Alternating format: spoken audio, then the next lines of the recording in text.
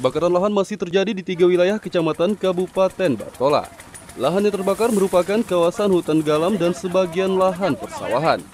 Kebakaran lahan ini sudah berlangsung selama beberapa hari dan semakin meluas. Sementara petugas pemadam kebakaran memprioritaskan pemadaman api yang mendekati pemukiman dan juga perkebunan warga. Tiga wilayah kecamatan di Kabupaten Batola di antaranya Desa Tebing Rimbah, Kecamatan Madastana, Desa Cahaya Baru, Kecamatan Dijangkit, dan Desa Sungai Pantai, Kecamatan Rantau Badau masih mengalami kebakaran lahan. Kebakaran lahan yang terjadi tepat pada wilayah perbatasan tiga kecamatan ini sebagian besar merupakan hutan galam dan juga persawahan. Akibat kebakaran lahan yang terjadi ini jalan tampak kabut dan sempat mengganggu arus pengendara. Hal tersebut dikarenakan adanya proses pemadaman api yang menjalar hingga pinggiran jalan raya dan mendekat ke pemukiman penduduk. Anggota BPBD Kabupaten Batola Eko mengatakan kebakaran lahan ini terjadi sudah selama kurang lebih empat hari terakhir. Dan pemadaman selalu dilakukan dari siang hingga malam hari.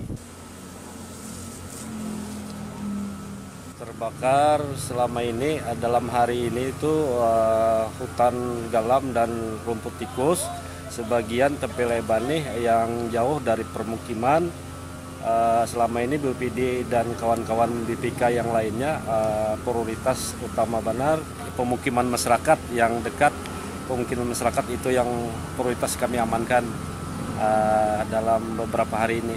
Kalau perkiraannya berapa hari sudah api ini? Perkiraan api ini sudah ya hampir empat hari sama hari ini. Kedaman selama ini kami laksanakan malam maupun siang. Apabila ada kejadian kami turun ke lapangan sama rekan-rekan BPK yang lain.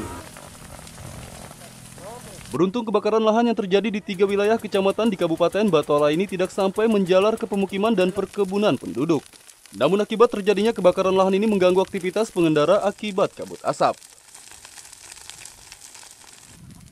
Muhammad Lutfi Dardan dan Ibrahim melaporkan dari Kabupaten Batola, Kalimantan Selatan.